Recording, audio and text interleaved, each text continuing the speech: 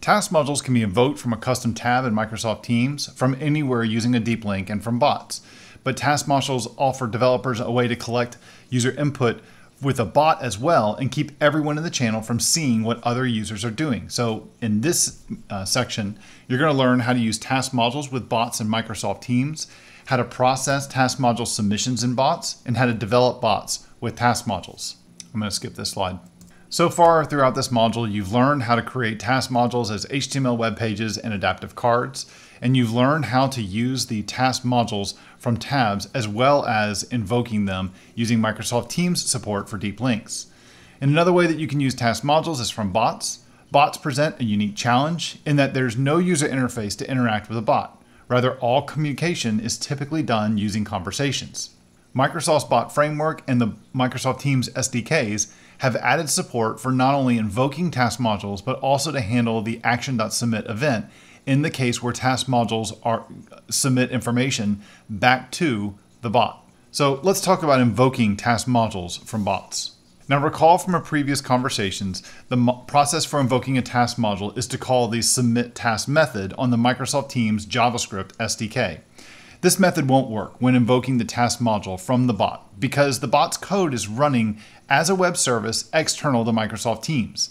Instead, you have two options for invoking a task module from a bot. One option is to use a deep link that is included in the message posted to the Conversations tab in Microsoft Teams by the bot. When a user selects this link, it will invoke the task module. The other option is to send a special type of a message to the bot framework and therefore to Microsoft Teams. And this can be sent from a card action or from the bot itself. To create the message, set the button's type to invoke.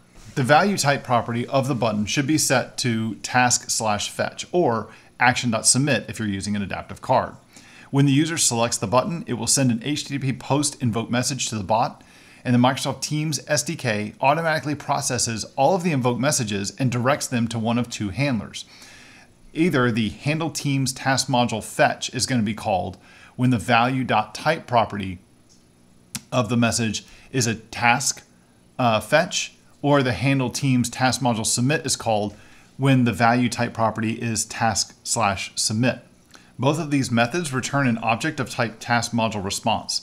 And this object tells Microsoft Teams to either display a message, which is a type colon message, or to display another task module, which is type colon continue.